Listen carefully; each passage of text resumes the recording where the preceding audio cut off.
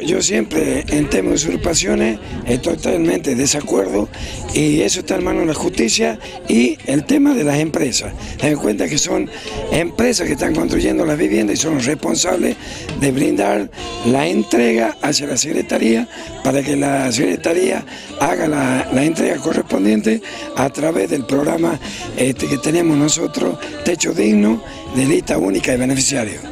¿Tienen conocimiento, secretario, cuántas son las viviendas usurpadas hasta, hasta este momento? Creo que había 50 ya, es lo que me dijeron a mí. Me dijo el administrador del IPB, quien está manejando el tema es.